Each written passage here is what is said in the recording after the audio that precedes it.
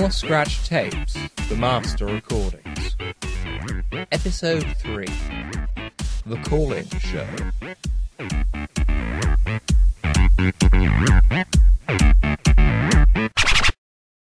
What follows is a transcript of broadcast 1F22 of the Vinyl Scratch, approximately one week following the Spitfire interview. Is this the real life? Is this just fantasy? nope. It's just rock. You're listening to K-Cult and there's no escape from the vinyl scratch.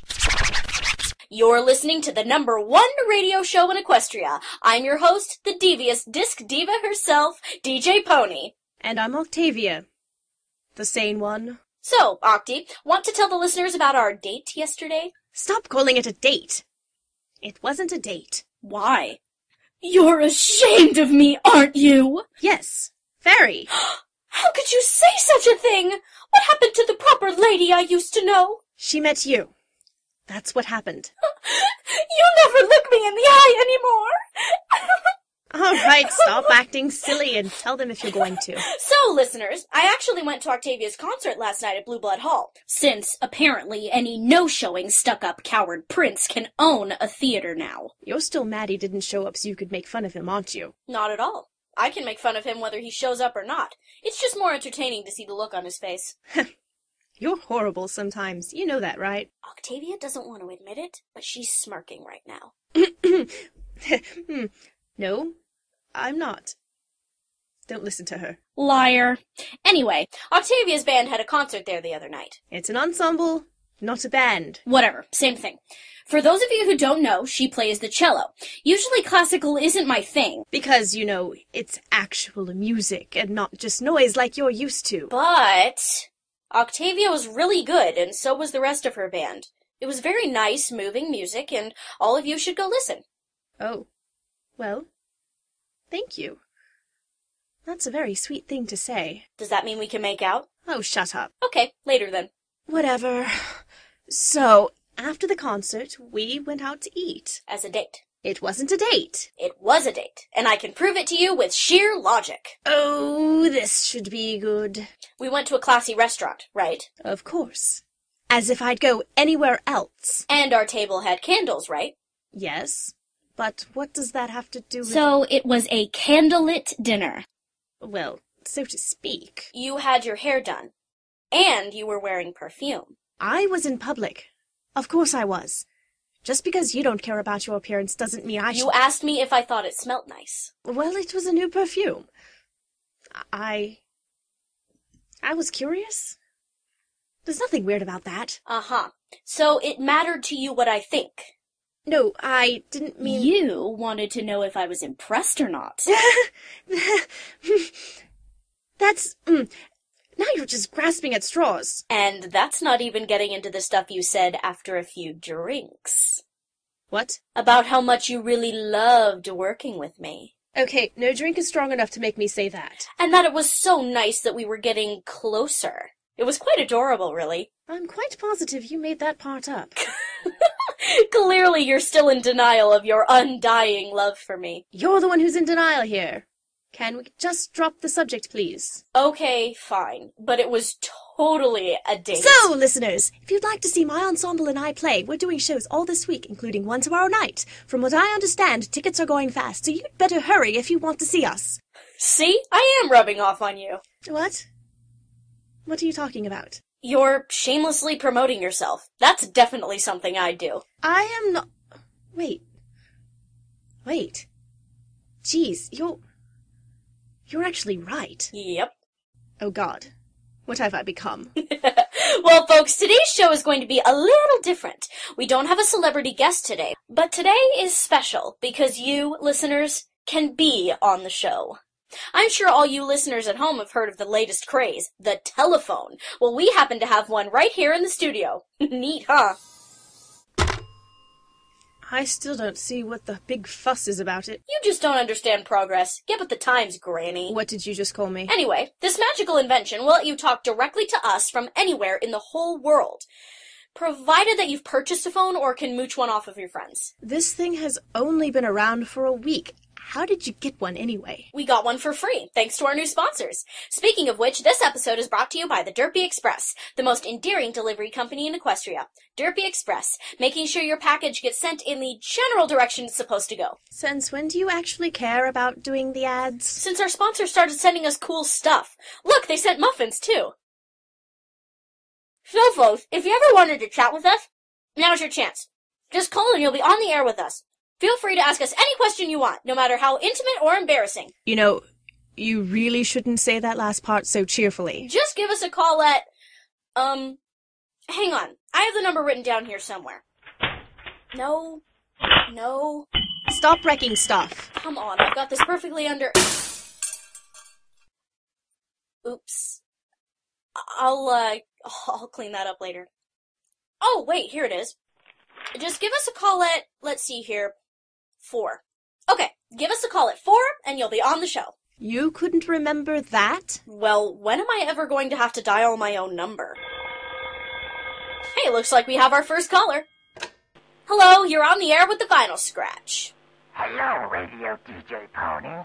That's quite a strange voice you got there. You're a pony? Yes, uh, sure. We are perfectly normal Earth horse ponies.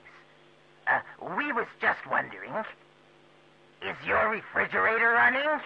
Sorry, we don't have a refrigerator in the studio. Well then, you... Huh? Uh, uh... What I say now? Hang up! But what is joke? Hang up, stupid! Um, uh, l- let us give you call back. Huh. Well, that was different. Oh, yes, I can really see the usefulness in this invention. Okay, now you answer it. What? No, you answer it. I answered last time, now it's your go. I. I don't feel like it. Why?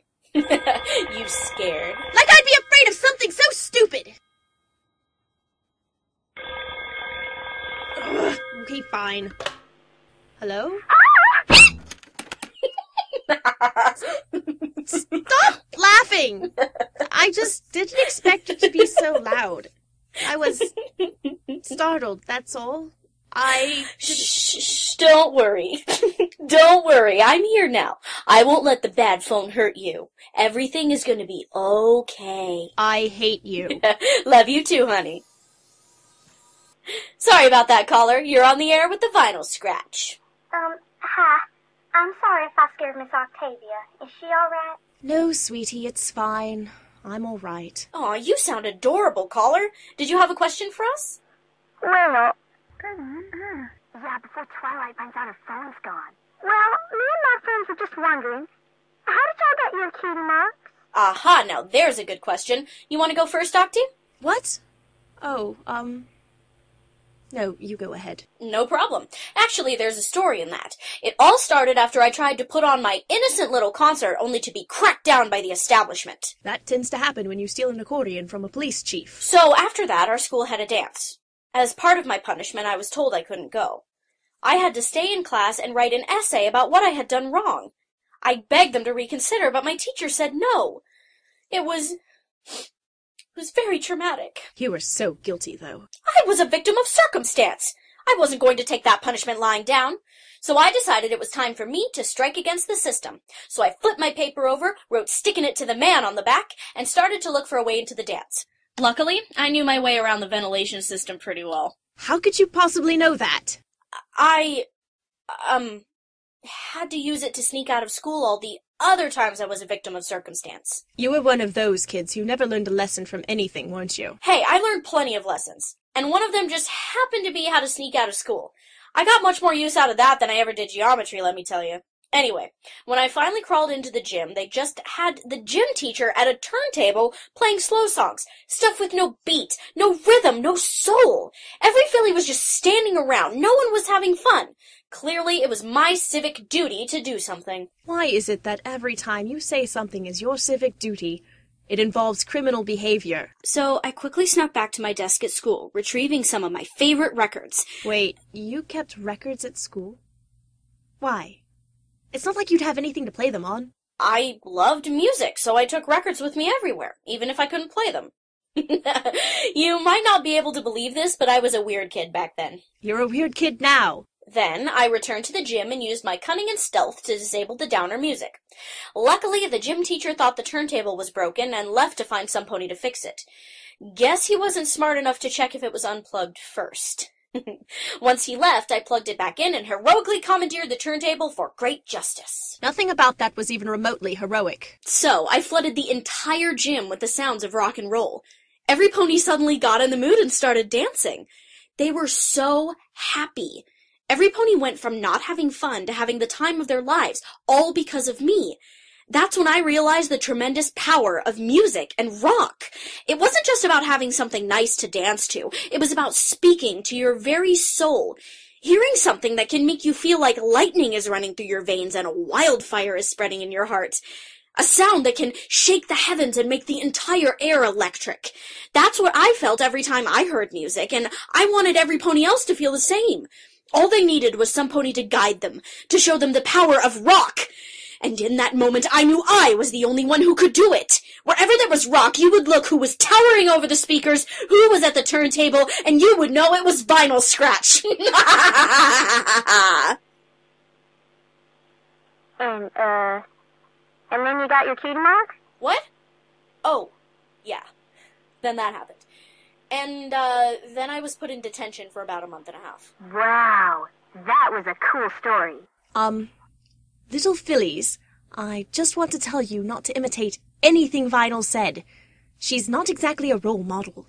She's more like the perfect bad example. Okay, well, why don't you give them a better example? How'd you get yours? Oh, well, it wasn't exactly as fun as your story. I'm sure no one wants to hear it. No, tell us. Well, uh, when I was a filly, I lived in Manehattan. I came from a very good family, but I didn't exactly fit in. You wouldn't know it now, but I used to be rather shy. Lots of ponies used to pick on me. I started taking music classes, and I really liked the cello. Actually, the only reason I picked that instrument at first was that I'd have something really heavy I could swing at the bullies. So I practiced really hard. And then one day we had a concert at school. I had a solo and everything. I was so excited about it. Ah, I see. So you killed and got your cutie mark, right? And then every pony respected you? um, not exactly. Uh, when I got to my solo, I actually got really nervous, and I. I ended up hitting a few wrong notes. Well, more like a lot of wrong notes. I'm almost positive I hit the right note at least once. Oh. It was so bad, some ponies in the audience started laughing. And a few parents, too. Um, I started crying. Every pony in band got really mad at me. They said I ruined the concert. Um, They teased me in band class. I ended up getting picked on even more than I did before. I got so depressed I didn't want to play anything ever again. All I wanted to do was to make music that other ponies would enjoy. Kind of like you, Vinyl, I guess. Um, yeah, I guess. That. Wow. Oh, don't worry. The story has a happy ending. Eventually, I got so determined to prove how good I was, I practiced the cello more and more. I must have practiced more than any other pony in band class. Then I finally begged my music teacher for another solo in the next concert. She agreed, despite every pony saying I'd just mess up. So finally, when it was my turn, I played, despite how nervous I was. I gave a beautiful solo that ended up with every pony clapping. And that's how I got my cutie mark. Wow. It was a lot of hard work, but in the end, everything was worth it. Sorry if my story wasn't as cool as Vinyl's. No, it wasn't as cool as mine. It was way cooler. Thanks, Vinyl. Well, um, Thanks for answering our question. So that's where my phone went. Uh-oh. Uh-oh. Gotta go. Okay. Bye. Huh. Well, that was fun. Cute kids. Yeah. Hey, you alright? What? Oh, yes, sorry. I don't usually think about the past a whole lot. Dredged up a lot of memories, I guess. Hey now, don't get in a sad mood or anything. What's past is past, right? I guess. Wait! Here, have a muffin. Okay. Um, why? No pony can be sad if they have a muffin. That's a scientific fact. I guess that helps a little. See? Told you. Science. Anyway, we're gonna take a quick break. In the meantime, enjoy some of the latest hits.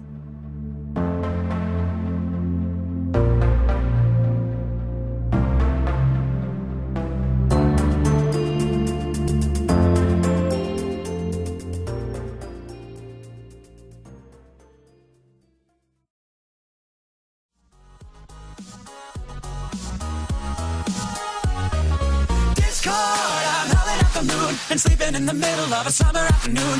Discord, whatever did we do to make you take our world away? Discord, are we a prey alone? Or are we just a stepping stone for taking back the throne? Discord, we won't take it anymore, so take your tyranny away. This. This is officially the worst idea ever. Welcome back, listeners. Sorry about that. Octavia and I were just having a discussion over the break. I was proposing a musical project we could work on together. Octavia seems to have doubts about it. Why don't you let the audience decide? I was writing a rock opera that I was hoping Octavia could collaborate with me on. I mean, she plays cello. Her involvement could definitely class it up a bit. I don't think I'm suited for that type of project. Oh, come on, Octi. we could make such sweet music together. Remind me, why haven't I filed a restraining order against you yet? Anyway, listeners, let me explain the plot. In a very fast and loose definition of the word plot. I just had Octi read over some of it. It's the story of Princess Luna and Celestia creating the world. I went to great effort to make sure it was historically accurate. It has robots taking over the world. Okay, so maybe I took a few liberties. Well, let's see. According to what you have written here, Princess Celestia apparently starts a nuclear war, Yes. Creates a dystopian future where she rules over robot ponies, Uh-huh. and Princess Luna, who for some reason has the ability to shoot lasers, comes down from space on a, quote, chariot of fire and vengeance and more fire, Yep. and proceeds to throw the entire moon at Celestia, which explodes on impact for some reason. And then Celestia turns into a dragon. Serpent. It's a serpent, not a dragon. Whatever. Look, I will admit this is creative. But you just can't have an opera where nonsensical things happen for no reason. Clearly you've never heard a rock opera before. Why don't we just get back to the call-ins now? Alright, listeners, we've still got some time left, so any pony out there, feel free to give us a call. Hello? Hi there. Uh, perfectly normal Earth pony thing again. Uh, so we was wondering if you had Prince Albert.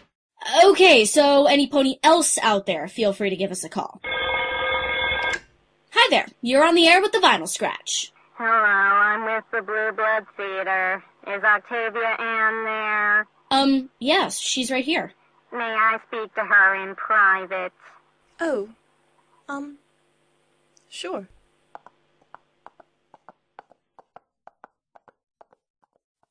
Hello? Yes, this is she. Uh huh. Yeah. What? But why? Y- yes, but. Oh, wait. He did? He said that, did he? Oh. Well, I see. N- No, no, I understand. Thanks.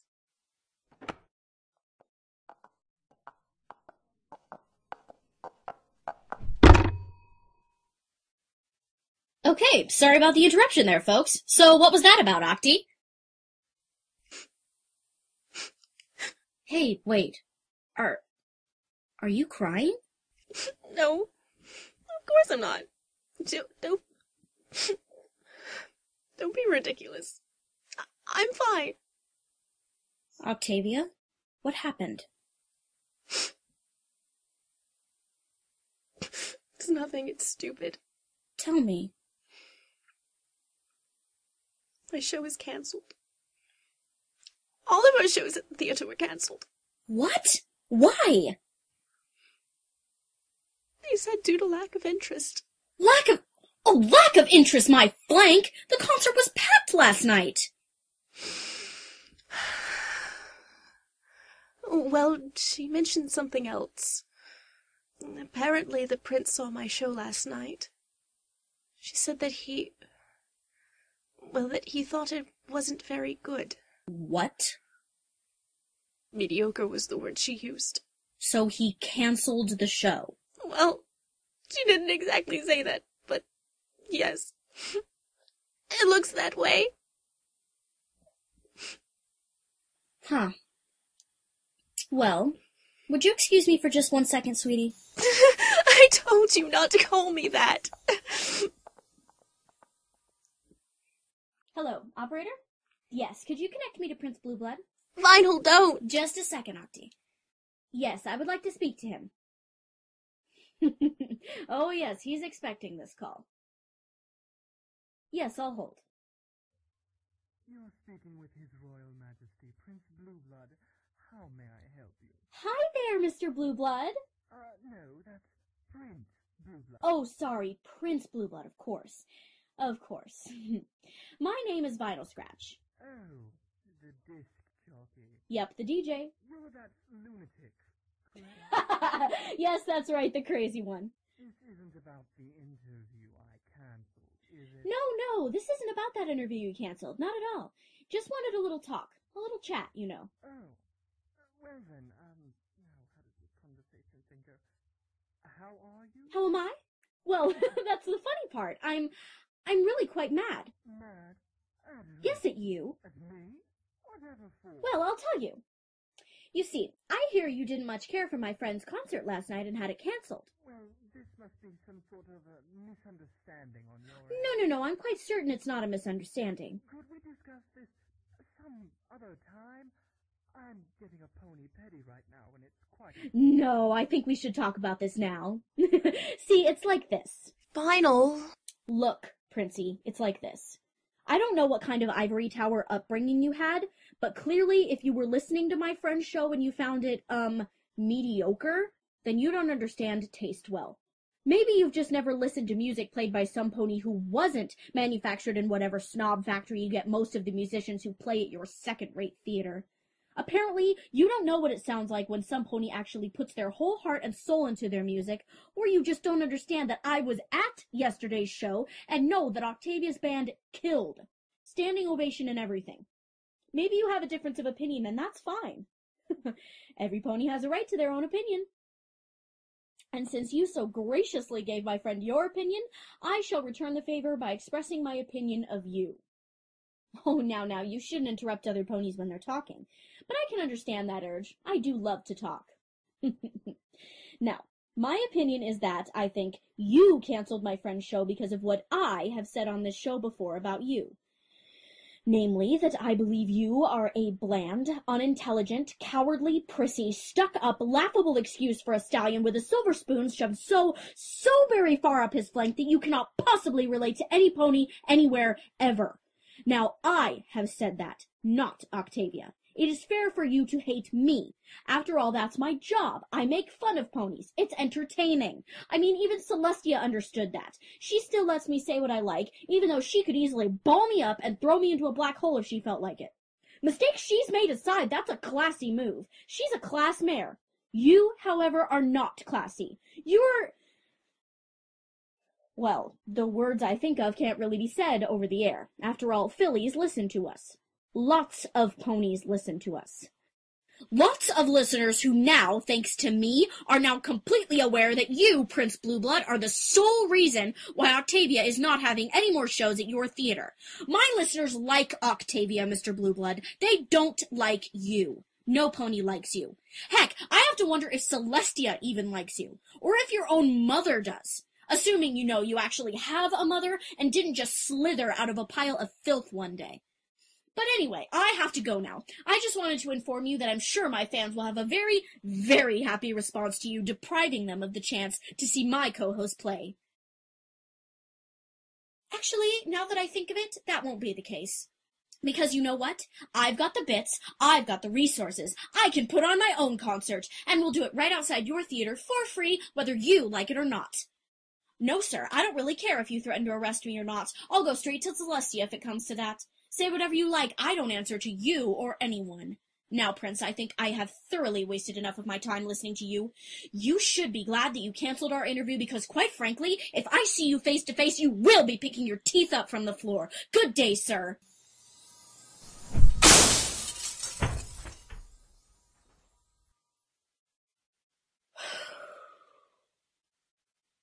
Well then, I think that about wraps up today's show. Well, Do you feel any better? I. Yes, I do feel a little better. You didn't have to do that, you know. No, actually, I'm pretty sure I did. You really thought my show was that good? Octi, do you even have to ask? No, I guess I don't. Vinyl, Yeah? I'm glad I met you. You're very sweet. Even if you are completely crazy. Um, yes. Well, thank you. Uh, Um, Wait. Are. You're blushing? Seriously? no! no, of course not. Uh, I'm too cool for that. Sure you are, Vinyl. Sure you are. Well, listeners, that's our show for today. Assuming I'm not thrown in jail or sent to the moon, we'll be back tomorrow for a live broadcast from our concert. Wait, what? You. You were serious about that? Of course I am. When am I ever not serious? Um, like, 100% of the time. Yeah, well, I'm serious about this. Well, listen. I'm. I appreciate the gesture, Vinyl, but you can't just set up a concert in the middle of Canterlot in one day. Without a permit. Without any kind of permission. Oh? Just watch me, Octi. Just watch me. Also, I think I'll have to go buy a new phone, too.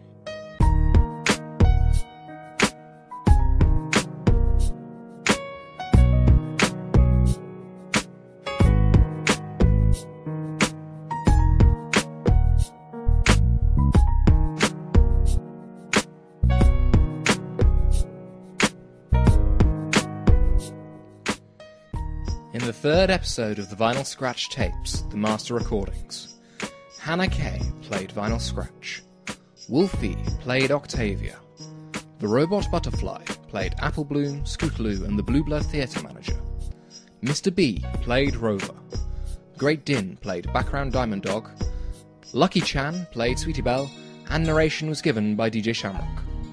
Special thanks to Soren Flörsheim, Soda, Anonymoose, Lord Sabre, The Living Tombstone, Sound of the Aviators, Pogosama, and General Mumble. The original story was written by Corey W. Williams, and the production was directed, edited, and produced by Emerald Page, Wollffeey, and The Jam Jar.